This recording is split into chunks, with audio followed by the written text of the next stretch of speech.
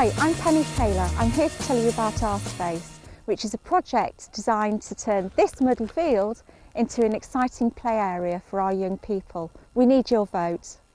At the moment they've got nothing. There's no park, there's no swing and slides, nowhere for them to go.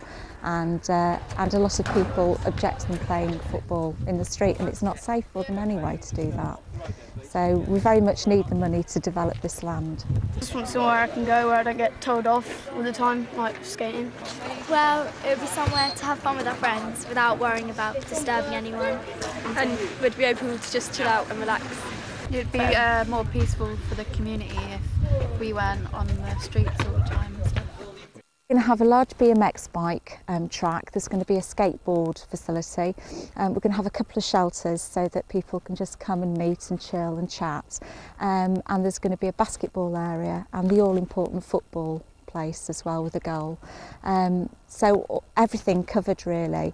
Um, and we will know as a community that our children are playing safe and, and they will be happy because they have somewhere to go that's just for them. Our space is somewhere we can Play football, Ride our bikes. skateboard, keep fit, just muck about without being shouted at. The village has been trying to sort out play facilities for over 100 years, so it will be a real triumph if we can get this. Um, if we don't get it, we're just going to end up with a very muddy field and the children will be playing in the street still. We've waited over 100 years to get decent facilities for our children in North Northants. Now what do we want everybody to do?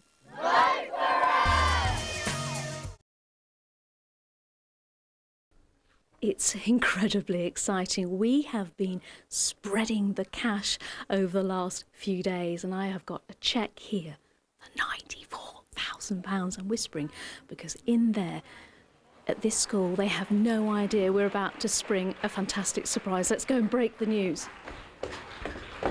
Come on, I'm really excited. It's this life changing amount of money. I'd just like to say a very good afternoon to you here at middle school. I am Lisa Foden from ITV Central tonight, and I expect you'll be wondering why we're here. We have got some news for you. I bet you've been wondering what's going to happen to all that cash. Have you? right, well, the time has come to announce the winner of this life changing money. Will it be you? Will it be you? Yes! It might not be you. The winner of this amazing amount of money, £94,000, it's you! Fantastic.